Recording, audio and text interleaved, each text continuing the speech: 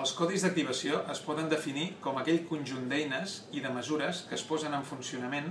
quan un malalt té o pot tenir una malaltia greu o potencialment greu i aquest malalt entra en contacte amb el sistema sanitari. Eh, aquests codis sorgeixen de la necessitat de prioritzar l'atenció d'aquests malalts, tant els greus com els que són potencialment greus.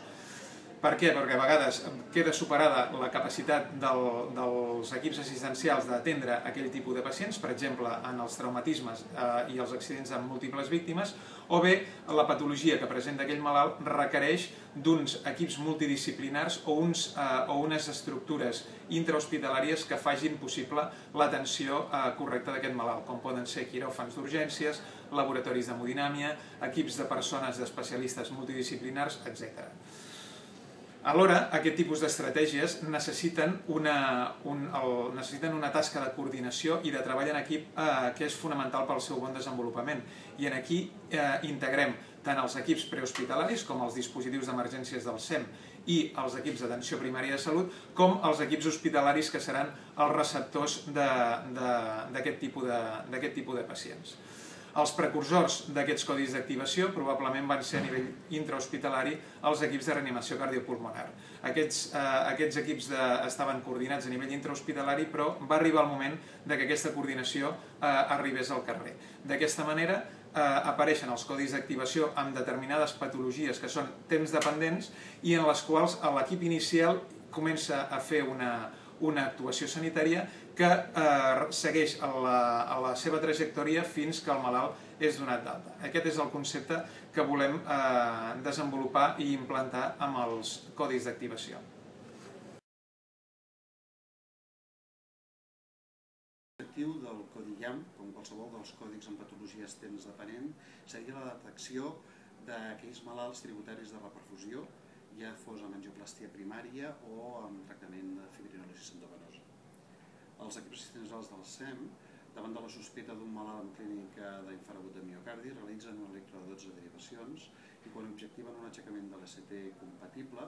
activen alerten a la central del SEM perquè realment faci una alarma, una prealerta als hospitals receptors per realitzar aquesta angioplastia primària. De fet, de les, de, dels més de 8.000 casos detectats des del juny del, del 2009, eh, la majoria d'aquests malalts han pogut rebre tractament de reperfusió. D'aquests malalts, un 30%, un 30% els realitza inicialment els equips assistencials del SEM i un altre 70% són els que el SEM hi col·labora, ja sigui en el transport i l'assistència des dels centres d'atenció primària o dels hospitals distribuïts per tot el que és el territori.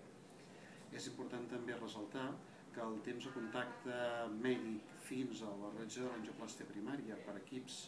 que inicialment eh, del SEM, que inicialment tracten i detecten aquests malalts, són els mateixos que si aquests mateixos pacients anessin pels seus mitjans a unitats en hospitals amb capacitat de realitzar aquesta angioplastia primària.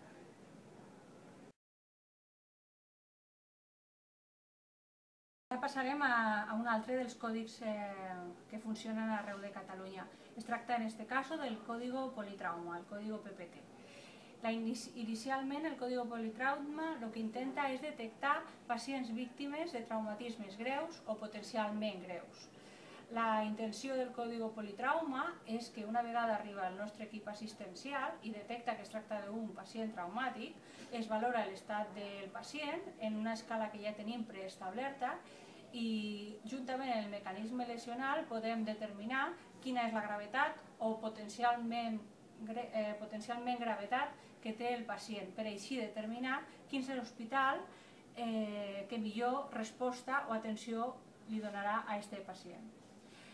Dintre de, del registre que s'ha fet en els dos anys que funciona a Catalunya, concretament des de l'abril del 2011, eh, este còdic ha registrat més de 5.000 còdigos politrauma, de los quals el 18% són de prioritat 0 i 1, és a dir, pacients greus, i la resta, el 82%, es tracta de pacients potencialment greus.